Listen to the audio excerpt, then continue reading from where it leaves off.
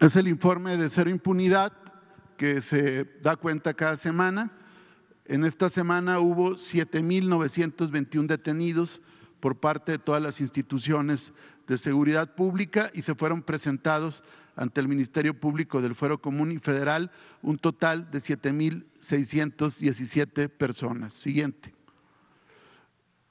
En estos días, el pasado 2 de octubre, la Fiscalía del Estado de México logró la detención de Dante N tras cumplimentar un orden de aprehensión en su contra por el delito de extorsión, hechos ocurridos, esta detención y la indagatoria de hechos de enero del presente año en el municipio de Tenancingo, Estado de México.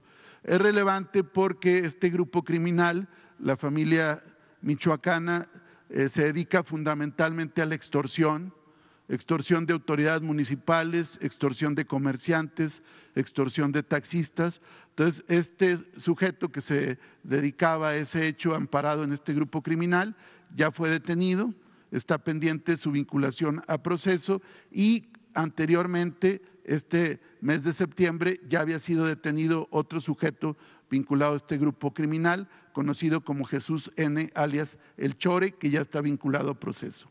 Siguiente.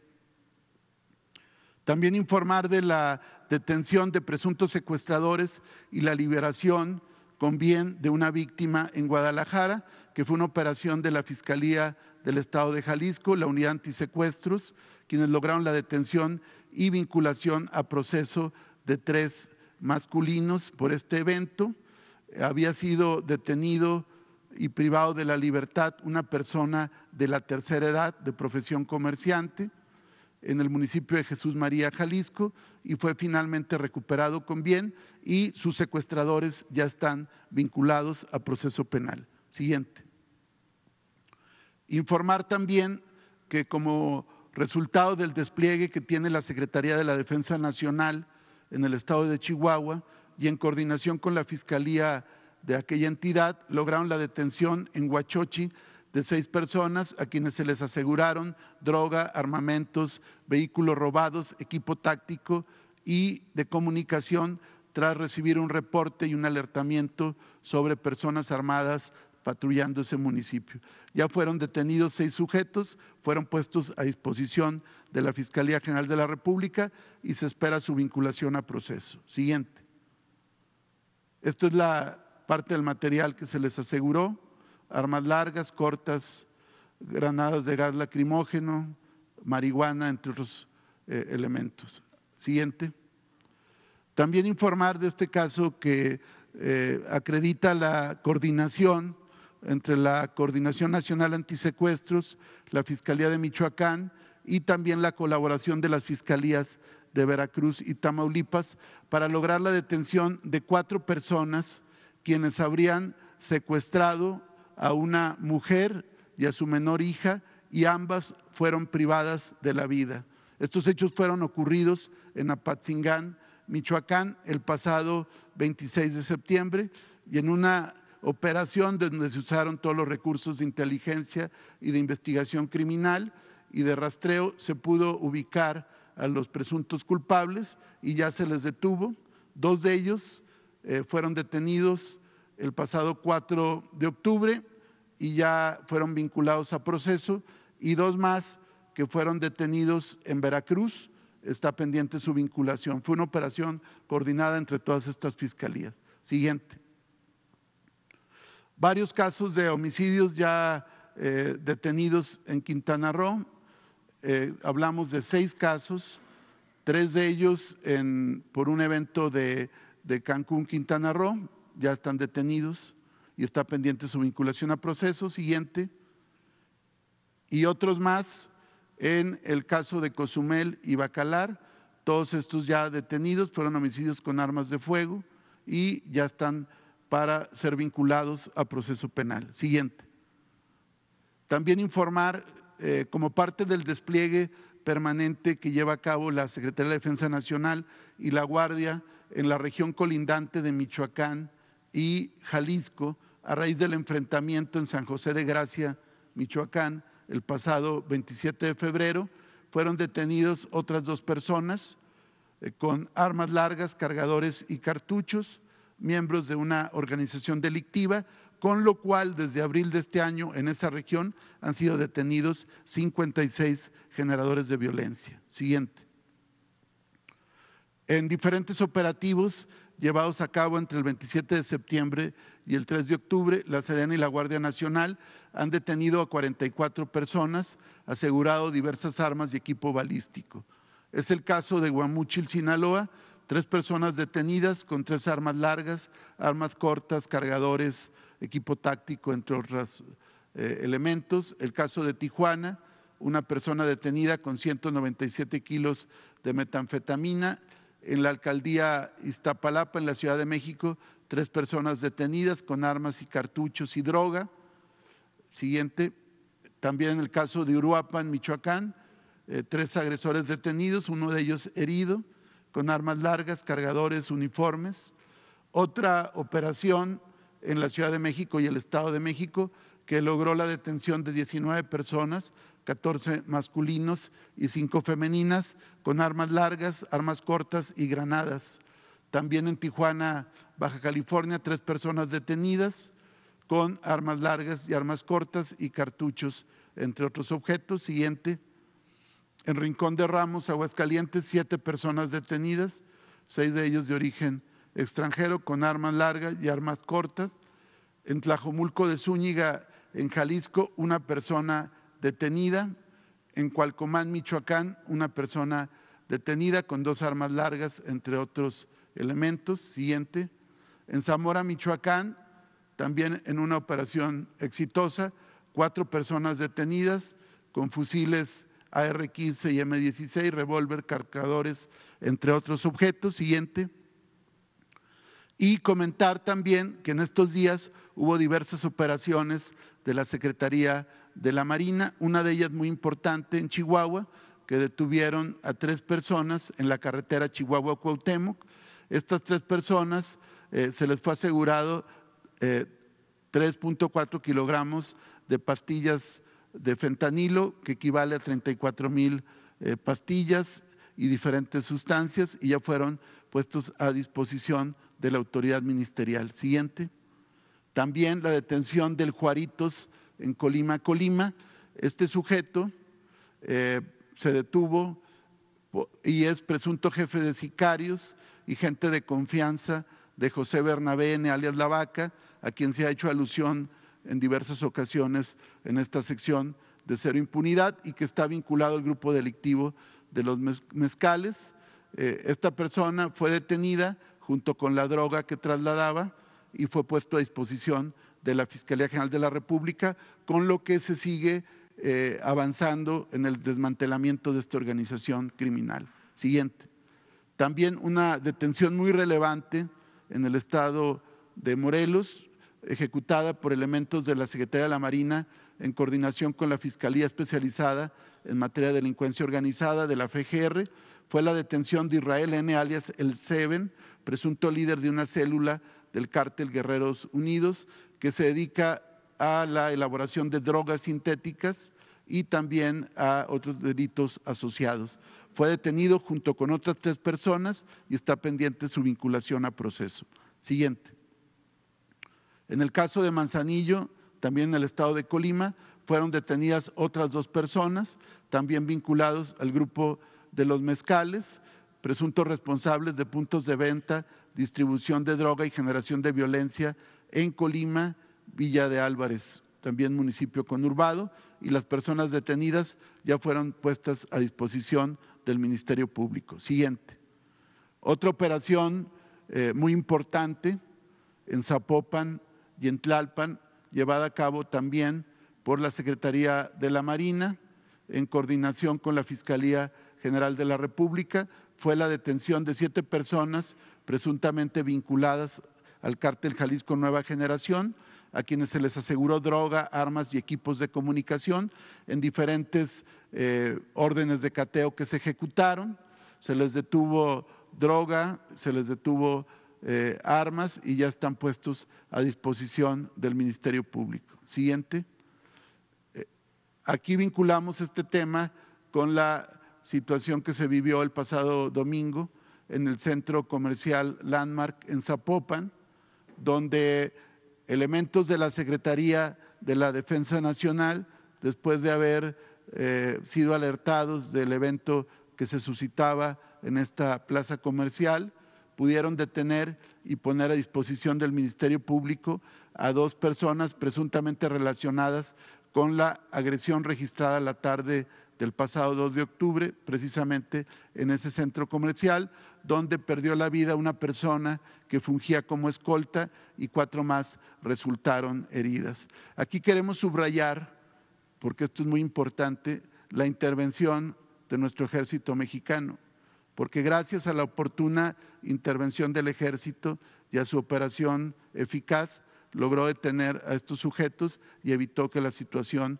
pasara eh, o fuera de peores consecuencias y ahí entraron propiamente en actividades de seguridad pública donde en primer término debieron haber intervenido las autoridades de carácter municipal, pero no intervinieron, pero estuvo ahí afortunadamente el ejército que sí pudo eh, participar y pudo tener una intervención oportuna. Siguiente. Damos cuenta de algunas vinculaciones a proceso relevante. El caso de Luis J. Lachanga, presunto autor material del homicidio del gerente de, Mamitas Beach en Playa del Carmen, ya está vinculado a proceso. El caso de Cristian S., que fue detenido por el caso de la mina El Pinabete en Sabinas, Coahuila, ya fue vinculado a proceso y con prisión preventiva justificada. También aquí en la Ciudad de México, siguiente, el caso de Daniel N., del cual la Fiscalía General de Justicia de la Ciudad de México informa que ya fue vinculado a proceso por el, por el, delito de homicidio calificado en grado de tentativa por hechos ocurridos el pasado 27 de septiembre al exterior de un restaurante ubicado en la alcaldía Miguel Hidalgo. Esta persona habría utilizado un arma blanca para amagar a un servidor público se recabaron diversas entrevistas, informes de investigación y dictámenes periciales. Se le dictó la vinculación a proceso y la medida cautelar de prisión preventiva, en este caso en el domicilio del imputado por la edad y hay dos meses para el cierre de la investigación. Siguiente. También aquí lo comentamos hace unos días, el caso de Alfredo N. alias el alemán, principal eh, generador de violencia de San Luis Potosí, vinculado al cártel del Golfo. De este sujeto había preocupación de que no fuera vinculado a proceso. Finalmente se le vinculó a proceso y la defensa pide que le quitaran la medida cautelar de prisión preventiva, alegando que violaba eh, cuestiones internacionales. Sin embargo, el juez determinó que mantenía la medida cautelar de prisión preventiva eh, este sujeto. Siguiente. Hay diversas sentencias que damos cuenta muy rápido en el estado de Jalisco, de Veracruz, una a secuestradores por 80 años, otra a los generadores de violencia y también eh, acusados de homicidios dolosos en el estado de, Veracruz, también fueron eh, sentenciados a 70 años de prisión. Siguiente. Y también un multihomicida de Tláhuac. La Fiscalía de la Ciudad de México logró ante el Tribunal de Enjuiciamiento del Tribunal Superior de Justicia de la ciudad la sentencia condenatoria de 105 años de prisión en contra de Octavio N. alias El Gabacho, quien fue penalmente declarado responsable de la muerte de tres personas por hechos ocurridos en mayo del año pasado en la alcaldía de Tláhuac. Siguiente. En el caso de los feminicidios que se da cuenta cada semana, informar que hay 15 detenidos, 5 sentenciados, de los cuales cuatro de ellos son en Chiapas con un sentenciado, otros tres son en Chihuahua, uno de ellos sentenciado, dos en el Estado de México, uno sentenciado, en Ciudad de México uno eh, que está sujeto a proceso, en Baja California otro más, siguiente, y también el Estado de Morelos uno, en Guanajuato tres, uno de ellos sentenciado, siguiente. Informar también que sobre el caso Devani, que ya la carpeta de investigación, una vez que ha sido atraída por la Fiscalía General de la República, ha sido eh, radicada para que sea precisamente la Fiscalía Especializada para los Delitos de Violencia contra las Mujeres y Trata de Personas, FEBINTRA, quien lleve a cabo la investigación. Eh, en información que la propia Fiscalía nos proporcionó, nos informan que en cadena de custodia van a traer todas las documentales, todos los indicios y todos los elementos que constituyen parte de la investigación para poder eh, tenerla aquí y poder investigar con plenitud.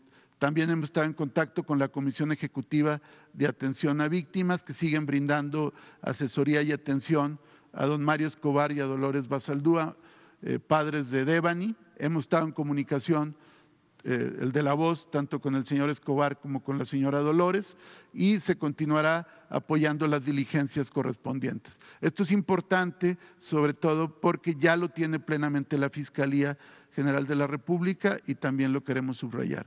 Siguiente. Por último, informar de casos de impunidad. Es el caso de dos eventos de Veracruz. Uno de ellos es por el homicidio de quien fuera candidato a presidente municipal de Morena en Tiahuatlán, Nicanor Martínez, quien fue asesinado el mes de junio del 2021. Eh, se detuvo a los presuntos responsables de este hecho criminal, entre ellos una exdiputada federal. Se acreditaron todas las pruebas, circunstancias de modo, tiempo, lugar, eh, videos, datos conservados de telefonía celular. Sin embargo, ellos recurren a un amparo y el juez les concede el amparo Aquí lo relevante es que en otro evento también del caso del periodista eh, Jacinto Romero, hechos ocurridos en Ixtaxoquitlán en agosto de 2021, se habían detenido también a otras personas por parte de la Fiscalía del Estado de Veracruz y en ambos casos el mismo juez les concede amparo en primera instancia. Siguiente.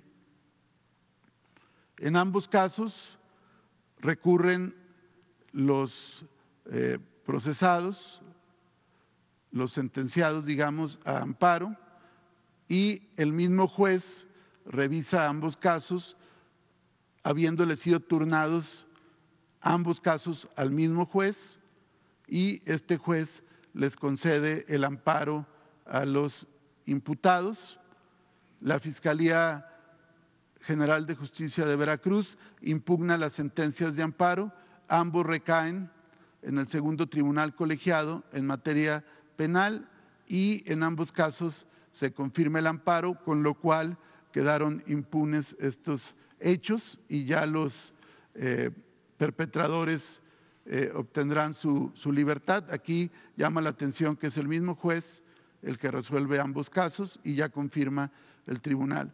Como se nos ha instruido, cuando hay estos casos, se va a proceder también con las denuncias penales correspondientes contra el juez por delitos relacionados contra la administración de la justicia.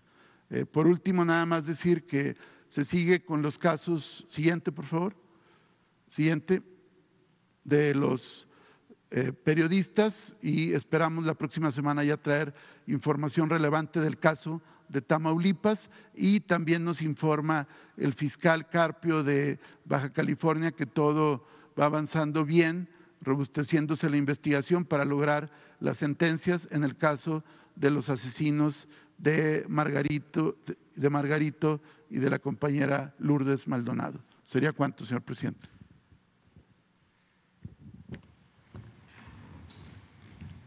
Bueno, como